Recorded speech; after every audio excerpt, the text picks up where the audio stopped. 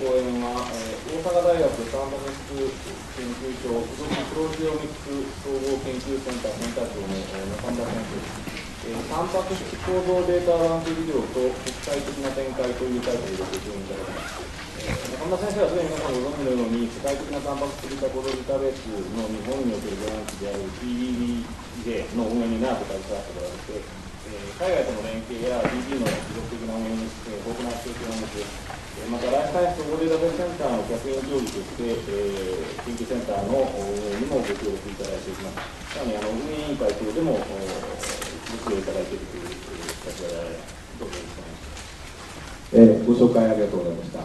えー、大阪大学の中村です。えー、今日はあのデータベースを作ると、そういうセッションで、あのあんまりサイエンスは勉強なくて、えー、どちらかというと営業の話をするということをでまず、えー、この、えー、プロテンデータバンクといったのは何かというところからあのやっていきますが、えー、非常に歴史はありまして、えー、1971年、えー、でにアメリカからで始まったものが、まあ、トランスでタンパク質あるいは、えー、核酸糖鎖などのその立体構造を、えー、データベース化するとそういうのにして、えー、データの中にはですねそのエクセルの結晶解析が多いんですがえー、それに加えて核力共鳴法 NMR それから、えー、電子顕微鏡による、えー、原子レベルの分解度の、えー、構造とそれがですね、えー、単にその座標だけではなくて、えー、アミノ酸材とか実験の手法とかそういう実験の情報などのメタ情報。さらには最近では、えー、観測データ、えーまあ、あの完全な生データではないんですけれどもえー、その構図で座標ではないもうちょっと前の生データとしての、えー、構造因子あるいは、えー、エネマの場合には、えー、距離の情報とそういったものが入っております、えー、そして、まあ、座標がこう入っているわけですでこれはあの、まあ、1971年にずアメリカで、えー、発足されて30年ほどずっとそのアメリカがそれをキープしてたんですけれども、年ぐらいから、え、これをもうちょっと世界的にやろうということで、えー、実際に2003年にですね、え、ワールドワイド PDB ちょっと URL は www が多いんですけれども、えー、www.wwpd えー、こういうところに、えー、ワールドワイド PDB のウェブページを書いてありますけれどもここで、えー、国際的な組織として、えー、運営をしておりますでわざわざこういうその国際的な組織を作った理由といいますのはここに書いてありますけれども、えーまあ、こういう世界のその全員のその財産としてのデータをですね、えー、将来にわたってフリーにそれからパブリックに使えると、えー、こういうことをその保証するためにそのある一つの国だけが、え、こういうデータベースを維持しておりますと、えー、その国の経済事業ですとかあるいは社会情勢などで急にクローズしてしまうと。えー、そうなったら大変ですねとそういうことがあって、えー、これを、えー、インターナショナルなデータベースしようとそういうことになったものです。えー、でまあ、わざわざその署名までしてですね、えー、どういうことをやろうかということを言っております。でここでじゃあ具体的なその国際協力がどういうものかというわけですけれども、えーまあ、アメリカの RCSB、PDB、それからヨーロッパの EDI、PDBE というんですけれども、それから日本の PPDJ と、この3種に加えて、アメリカのその NMR のデータベースとしての、えー、バイオマグレゾナンスバンク、EMR と、この4社が共同してですね、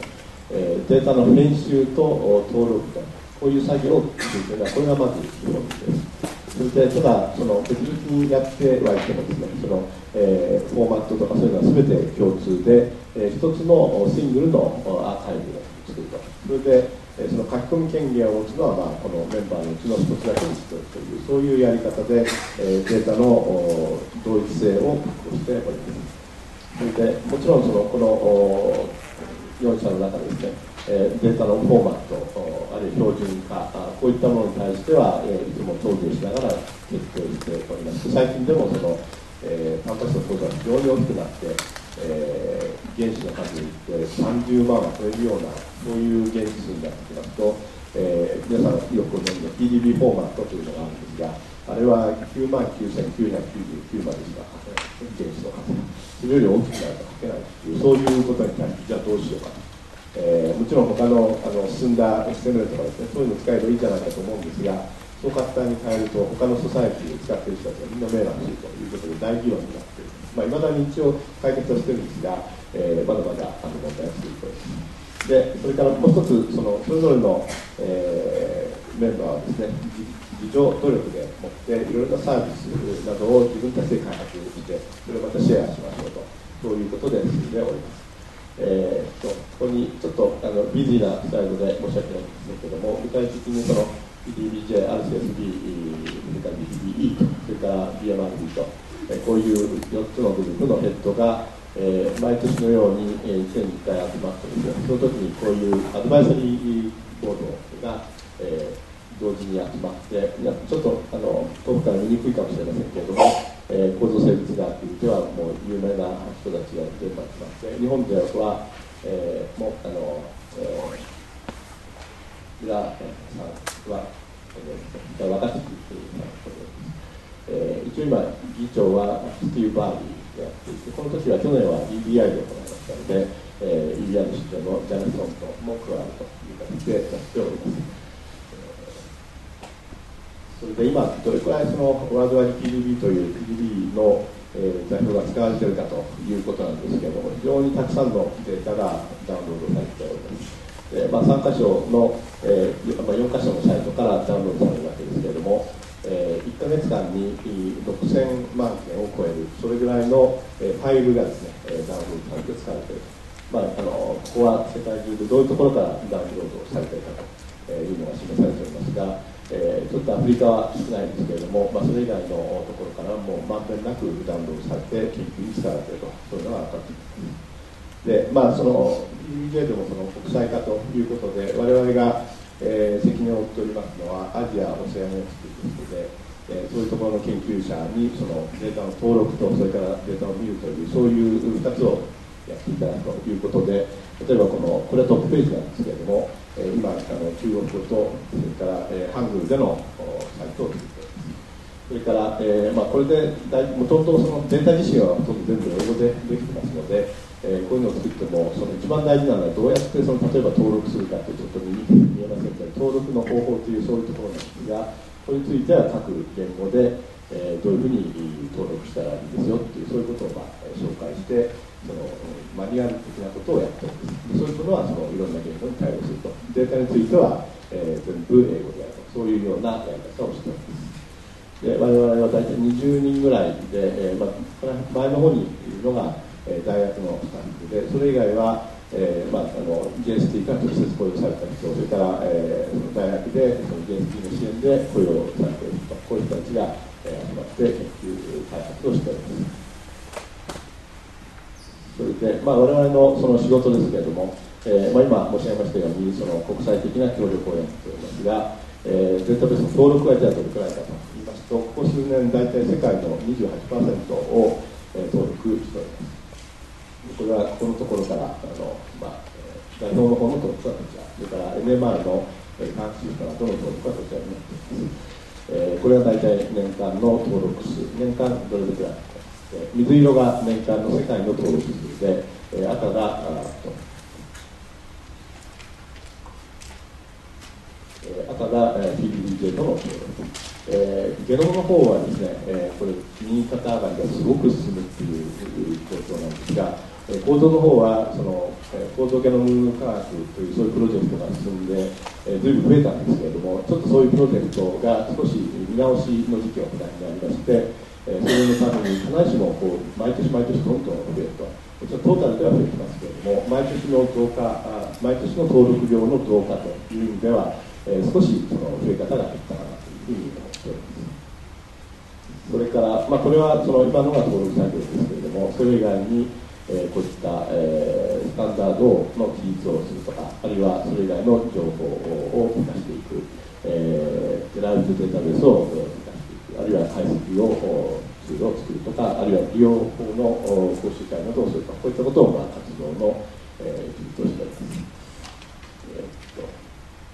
それで、えーまあ、簡単な使い方1個だけお示しますと、まあ、このところにそのどうやって検索するかというところで、えーまあ、PBID あるいはキーワードを、えー、入れていただければ、それからあ例えば、まあ、これ ID を言えばですけれどもあの、文献などに出てますから、それを入れるとすぐにサマリーページが現れて、えー、そこからさらにいろいろな詳しい情報を見るようになると、そういうやり方をなっています。それから、まあ、よく言われるんですけど、これ、あの文献もっとあの、えー、情報を絞れないんですかと言うんですが、まあ、当たり前にこれ、グランとかアンドとか入れて、いろんなキーワードを足していけば、その絞り込みがどんどん自動的にできるようにもなっておりますので、これ使ってみてください。それから、まあ、あのサービスとしてこういったグラフィックスの、えー、独自の開発、Java でのグラフィックスの開発とか、えー、ポスターであの表示もしておりますけれども、それ以外のいろいろなデータベースをえー、開発しておりますので、えーまあ、よく使う非常によく使われているのはこの、えー、シーケンスナビゲーターというものでこれはそのアナプな配列を、まあ、ファストフォーマットでピタッとペーストしてありますと、えー、PDB の中にそのホモログがあるかっていうのが非常に早く出てきてそのアライメントされたものが出てくるというものでこのあの使用件数が非常に多いです。えー、それ以外にも、まあ、分子表面のデータとか、えー、電源の構造で、これは必ずしもその原子レベルの分解能ではないんですけれども、えー、こういったものがあの見ることができます。それで、えーちょっとここでその、まあ、あまりこういう詳しい詳しいことを話しても仕方がないので、むしろデータバンクとしてですね、えー、どういうことが大事なんだろうかということをお話しして、その今日のその統合データベースということもお話ししていただきたいと思うんですけれども、えー、まずその私はこのデータベースで一番大事なものとしてアプリセートするのは、えーまあ、登録者、オーサー実験したでデータを出す人というこの人のためにその、えーまあ、登録がしやすいことあるいは、えー、その登録が非常に早く便利にできることこれが、まあ、非常に大事なそれから次に今度はそのユーザーの方に対してもちろんそのユーザーが、えー、使いやすくなる。あるいは検索が非常に早くやりやすいなそういうことも必要ですしそのユーザーが自分用にカスタマイズできなくて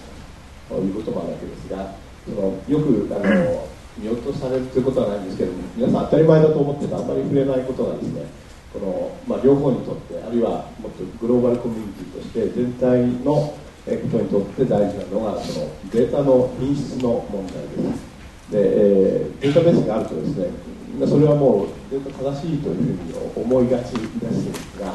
その、データベースに対していろんな統計を取ったらこういう結果が出たということで、え、論文なども書けるようになってるわけなんですけれどもじゃあそのデータって本当に正しいのかということについては、え、非常にこれ大きな問題があります。それで、え、データバンクといいますのはそのデータをその、え、研究者から委託されてそれをデータベース化するとそういう作業をしておりますので、えー、どれくらいデータの品質が優れているかということをきちんと保証してその、ユーザーにですねその、えデータのクオリティが分かるような形で、え紹介しないといけない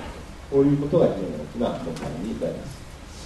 それで、え、まずじゃあどうやってそれをやってるかということですが、一つはその水際作戦といいますか、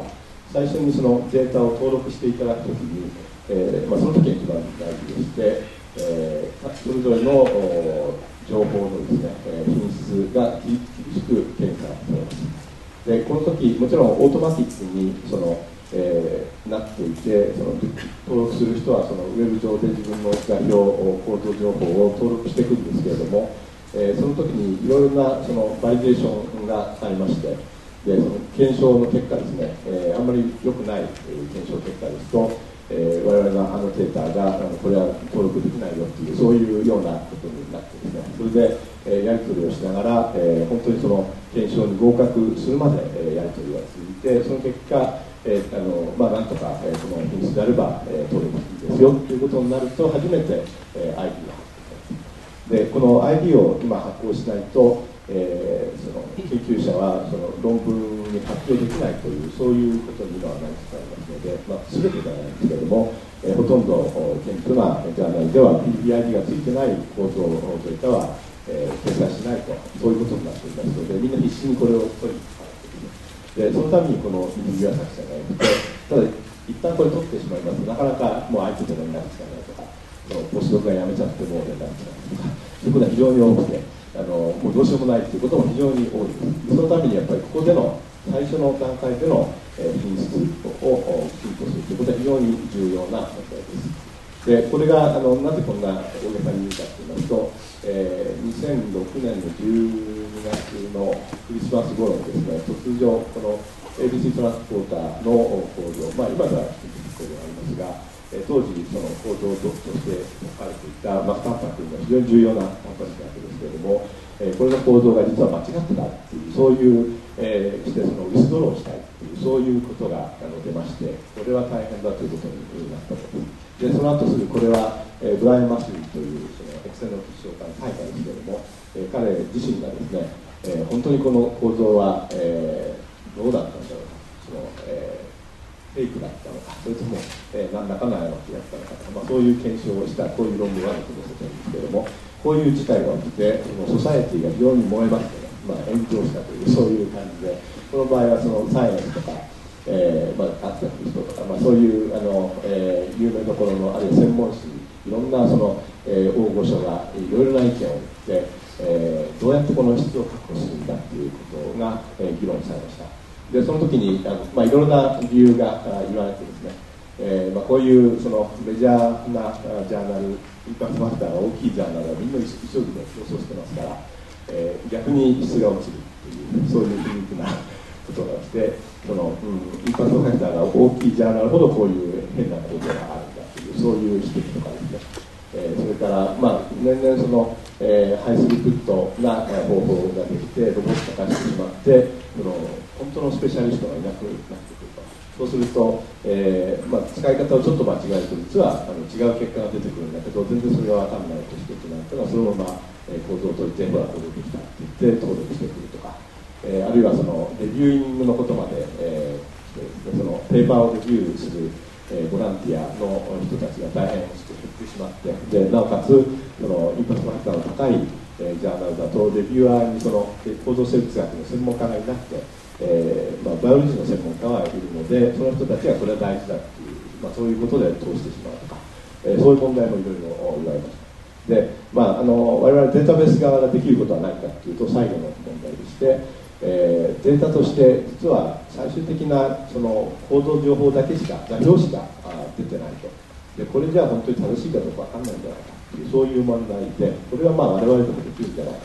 ということでその先ほどの WPDB のアドバイスリーコミュニティのその議論としてですね、えー、去年の2月1日から、えー、それまではあのリコメンデーションで、えーまあ、実験のストラクチャーファクターとかですね、えー、テスナトリストレントを、えー、入れてくださいねっていう、そういう奨励だったんですけれども、2月1日からはその、えー、マスト情報、マンダタリーの情報になりまして、これがついてないと登録ができないと、えー、そういうふうに変わっています。で、えーまあ、今ではその NMR の方は、えー、単に現時間距離だけではなくて、えー、単シフトの情報も、えー、同時に載せないとダメだというふうに今あのそういう動きになりつつあります。まだあのそこまで来てませんがおそらく、えー、あと1年ぐらいにそういう方向に行くと思います。それから、まあ、もう一つは、データの記述法に関してもこれはあの情報科学の方の進歩を大きなってわけなんですけれども、えー、それまでの PD フォーマットっていうのは非常に1970年から、えー、あるものですからえ非常にその、え古くてですね、え必ずしも正しく本当に正しくなって記述されてるかどうかわからないというそういうところだったんですけれども、まあ、XML などの記述法を使って記述の検証が出されて、まあ、今ではほとんどあの、えー、まあ、たまに間違いがあるんですぐ治るとそういう状況になっています。それで、えー、まあ、そういうことのそのデータの品質管理とか保守これは非常に大事ですのでえー、どうやってそれを確保するかということで最初にその登録時の、えー、鑑定についてはその高度生物学の専門家の集団、まあ、これちょっと赤で書いたところは必ずしもあの我々だけの、特殊性があることではなくて他の全てのデータベースあるいはデータバンクで、えー、共通だと思うんですが、えー、その分野の専門家の集団がきちんといないといけない。えー、なぜかというとその最新の測定法が、まあ、どんどんできてくるわけで昔まあそれをやってたっていうぐらいでは追いつかないというわけです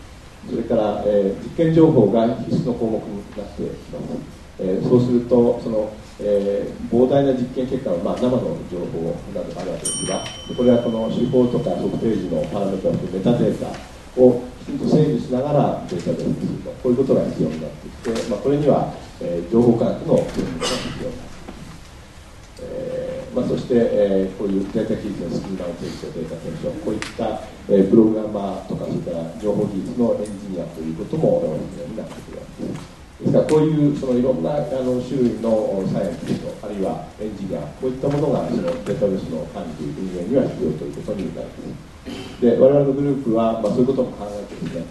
データベースの管理運営グループは、この中川敦先生、まあ、彼はエクセのあの専門家のプロジですが、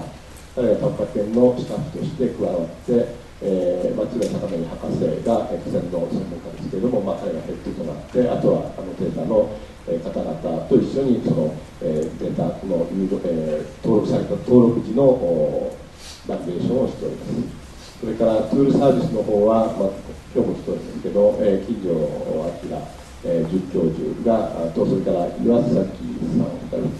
鈴木さん、彼ら彼はあの電子顕微鏡の専門家なんですが、えーまあ、それ以外にその山下拓郎さんなどの、えーバイオマティクスの専門家、あるいはプログラマーの方々が、えこういうプルートサービスを自分たちで作ると、そういうことをやっています。NMR の方は、えー、先生、藤原先生、小林さんなど、その NMR の専門家が、えー、BMRB と協力して、えー、データベース作りをしています。え、それ以外のその大学の先生方とは、そのいろんな専門的な、えー、データベース、データベースを作ることで協力すると、そういうことをやっていて、そのえー、一つ前のここでいろんな種類の、うん、人が人たちに関わっていただかないとそのうまく運営していけないとそれをなんとかまあ伝えているとそういうことになっていますそれで、えー、ちょっと私はその後の、えーと、なんかディスカッションがあってちょっとパネルディスカッションの時に何か言いなさいということでそのための、えー、資料をちょっと次に示したいと思いますがえーまあ、こういうそのデータバンクの運営をやっておりますとじゃあ外国はどういうふうに考えているんだろうかと、えー、いうことが、えー、気になってきますで例えばこれは、ちょっと古いんですけれども、えー、アメリカの NSF から出ております、えー、ナショナルサイエンスボード、まあ、総合科学技術会議みたいなことですが、えー、そこがですねこういうロングライブドデジタルデータコレクション Enabling Research and Education、えー、こういうタイトルの、えーまあ、報告書を作っております。でこれは非常にあの、えー、コンプリヘンシブでですね、えー、こういうその、うんまあ、東北データベースに関係するんですが総合的な非常に広い分野の、えー、ライフサイエンスのデジタルデータがいかに必要ででそのためには、えー、どういうことをやらなきゃいけないかということが非常にこのあの詳細に書かれております。で特にここら辺ちょっと遠くかにほとんど見えないと思うんですが、えーと、どういう人がどういう役割を持つかでデータの多さ、まあ、プロデューサーそれからデータマネージャーデータサイエンスサイエンティスっていうのは、えー、インフマティクスとそれから、えー、バイオ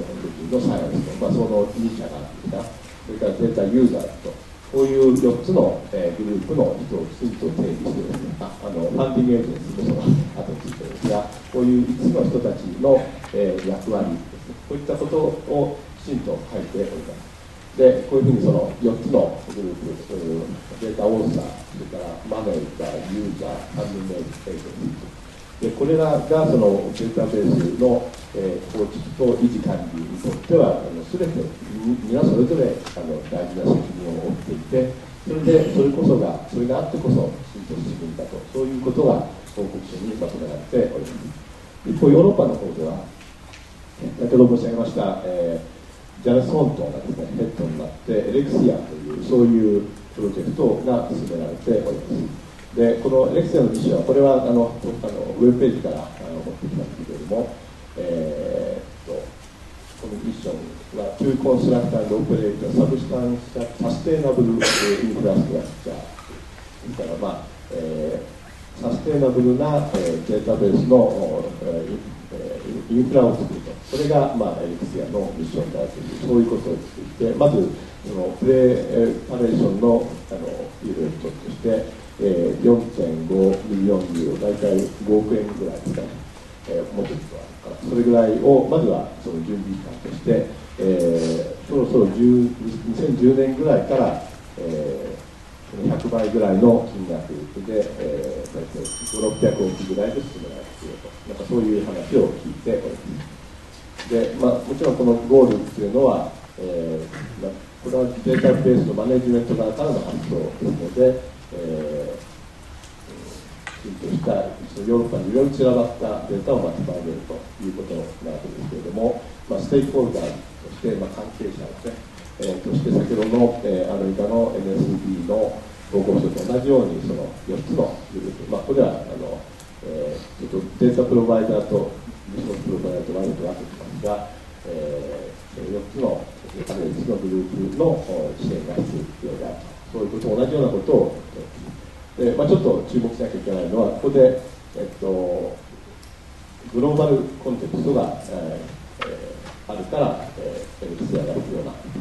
で、ここにちゃんと日本が入っています。ですから、えー、ヨーロッパとしては、アメリカとヨーロッパと、えーまあ、アジアというときにその、日本はそれなりのデータベースの活用が進んでいて、えー、この3社でもってグローバルな、えー、こういうデータベースの整備をしていくために、NXR が必要なんだそういうことが書いてありますので、えー、ますます日本としてはきちんとやらなきゃいけないというふうに思われます。えーまあ、日本の方ではあのタンパク質活産構想という雑誌で、えー、この、えー、どういうことが、えー、大事かということをいろいろ書いたんですが先ほど紹介したようにそのいろいろなその役割があるという割にはそのユーザーのグループそれからあとはそのデータベースを作る側という、えー、マネージャーの側からの発言が多くてえー、それ以外のそのデータを生産する人たちの発言とかですね、それからファンディングエージェンシーとか、そういうところからのその、えー、視点というのはあんまりなかったように思いますので、まあ、今日あのそういうことは少しでも、えー、話せればいいかなというふうに思います。で最後、ちょっと1枚まで、えーまあ、これがコンクルージョンです。えーまあ、サステナブルなデータベースを長く作っていくと。そういうためには、その4つのプロデューサー、ユーザー、マネージャー、えー、それから、まあ、インフォマティクスと、えー、バイオロジーのサイエンスそれで、えー、ファンディングのが必要で、えーまあ、特にもう一個だけ言いますと、ファンディングエージェンシーに対しては、お金だけじゃなくて、えー、今こういうことに対する人の雇用援助は大変になっておりまして、あの雇い止めの問題とか、そういう社会現象にもなっていてですね、えー、でこのサステナブルでロングライフにするために、えー、なんで雇い止めの人を雇わなきゃいけないというそういう変な状態になっております。でそれをきちんとしないと、えー、安定なあ雇用ができない限りはなかなか、えー、データベースそのものも安定ならなならないんじゃないのかなというそういう問題を感じてちょっと悩んでありました以上で。す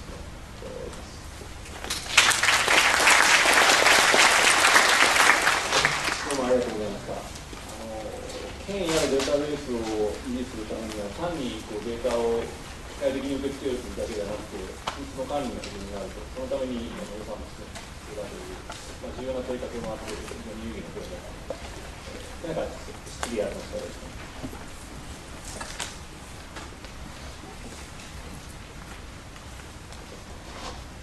自分の場合ですね、絵は描れる難しかったですけど、これなんか、近代のような繰り返してしまって、反発力があって、大きいです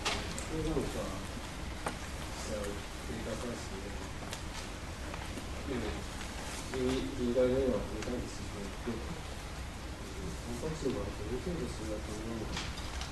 そうなんかこういうエラーがあったとこういうエラーがやっぱりそのデータの、えー、質を、えー、把握するためのいろいろなパラメーターがあるんですね。えー、またそれを、まあ、いろんなレベルのところで、えー、このデータは他の全てのデータに比べて、えー、どれくらいのスタンダードであるかというそういうことを見てそれから外れてるとちょっとこれちょっとおかしいところがあるのでもちろんそのおかしいっていうのが実は事実であることもあるのでそれちゃんと見直さないといけないんですけれども一応そういうことに対する問いかけをしてそれでそのエラーがありそうかなさそうかということを分かっているそういう仕組みです。もう一つはその、えー、そうは言っても、えー、エラーは防げないというふうには思ってですね。で、えー、そのためにはあのどういう仕組みでこれを解析したかっていう、あるいはその例えば分解能というのは一つの指標ですけれども、えー、これのデータはどれだけの分解能でそういったものですよということを明示してその使う人が、えー、こんな悪いデータ使いたくないやっていうふうに思うようなそういうそのユーザーが、えそれを評価できるようなそういう情報を与えるべきだというそういう考え方でですからそれはあの先生の方でも使えるんじゃないかと思っていてこういう解析法でやってるからこれぐらいのエラーベートはしょうがないよっていうことで、えやるんであればいいんじゃないですかというそういうことですね。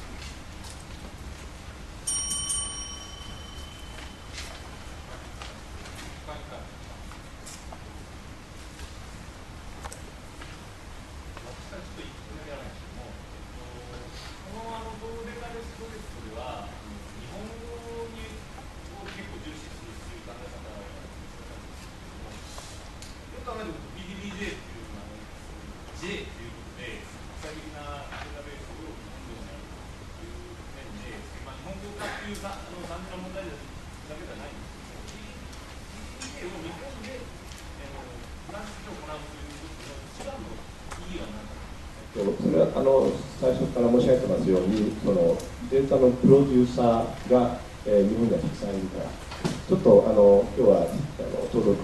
統計を持ってきてないんですけれども、えー、ちょっと前の統計ですと、えー、アメリカに次いで日本からの構造の登録が第2位だったんですね、まあ、今ちょっと変わってるかもしれませんけど、えー、アジアでは少なくとも1位になってます。でそういうその、えデータの生産者が国内にたくさんいる以上ですねえー、その登録を全てアメリカに任せているかというそういう問題は当然あってでそれを考えるとやはりその、えー、データ生産者が日本にたくさんいる以上はそれをデータベース化する日本でデータベース化するとそういう意義は当然、まあ、当たり前のこととしてあるんだとそういう考え方です。